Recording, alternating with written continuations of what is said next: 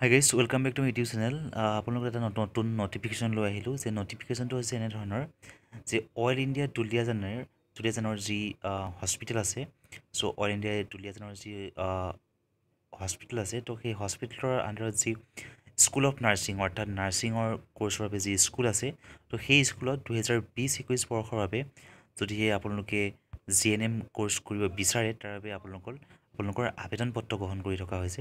যে ইয়াতে তেখেতসকলে লিখিছে যে oil India limited Duliajan Dibrugarh has release and admission notification and inviting application from interested female candidates from Assam and Changlang district of Arunachal Pradesh for the admission to the three years general nursing and midwifery course in the school of nursing oil India hospital Duliajan for the session two thousand twenty twenty one অৰ্থাৎ oil India লিমিটেডৰ দুলীয়াজানৰ যি nursing school আছে তাত আপোনালোকে যদি G N M nursing course কৰিব বিচাৰে ইয়াৰ বাবে অসম আৰু অৰুণাচল প্ৰদেশৰ যি চাংলাং ডিষ্ট্ৰিক্ট আছে সেই ডিষ্ট্ৰিক্টৰ অৰুণাচল প্ৰদেশৰ এখন কেৱল চাংলাং ডিষ্ট্ৰিক্ট আৰু অসমৰ যিকোনো ডিষ্ট্ৰিক্টৰ পৰা আপোনালোকে যদিহে ফিমেল কেণ্ডিডেট হয় যদিহে আপুনি G N M nursing course কৰিব বিচাৰে থ্ৰী ইয়াৰ্ছৰ তিনি বছৰে এই যদি পাঠ্যক্ৰমটো আপুনি গ্ৰহণ কৰিব বিচাৰিছে তেনেহ'লে আপোনালোকে অনলাইন যোগে আবেদন কৰিব লাগিব। ইয়াতে কৰ্চৰ নাম হৈছে G N M session two thousand twenty twenty one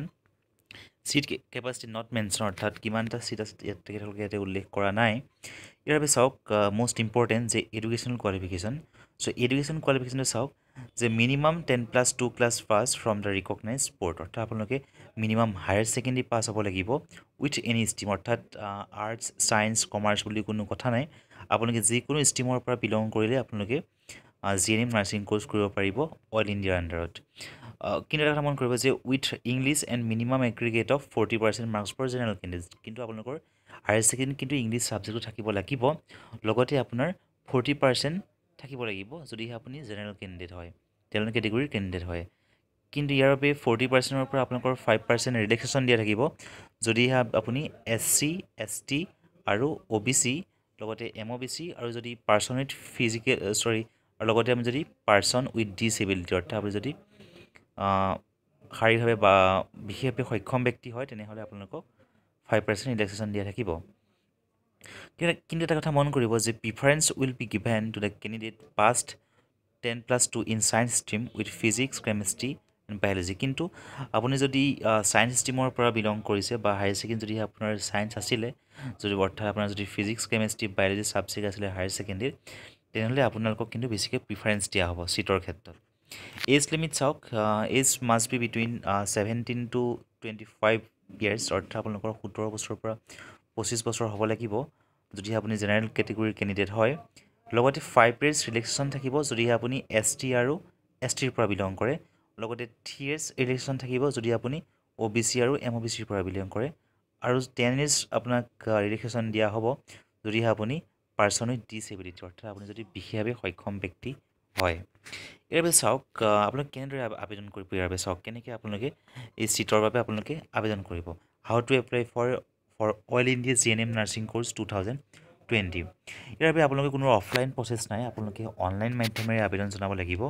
ইয়াৰ বাবে আপোনালোকে যিটো ৱেবছাইটৰ দ্বাৰা আপোনালোকে আবেদন জনাব সেই ৱেবছাইটটোৰ লিংক মোৰ ডেছক্ৰিপশ্যন বক্সত দিয়া আছে। তাত গৈ ক্লিক কৰি আপোনালোকে আবেদন জনাব পাৰিব। কিন্তু ইয়াৰ বাবে আপোনালোকে কেইটামান ইম্পৰ্টেণ্ট ডেট মনত ৰাখি লওক। ডেটকেইটা হৈছে এনেধৰণৰ যে অনলাইন ফৰ্ম ছাবমিশ্যন অৰ্থাৎ আপোনালোকে অনলাইন ফৰ্ম ছাবমিশ্যন কৰিব পাৰিব অহা আঠ এঘাৰ দুহেজাৰ বিছ টুৱেলভ মিড নাইট অৰ্থাৎ আঠ নৱেম্বৰ তাৰিখৰ নিশা বাৰ বজালৈকেহে আপোনালোকে আবেদন জনাব পাৰিব। তাৰপিছত আৰু আপোনালোকে কোনো ধৰণৰ আবেদন জনাব নোৱাৰে।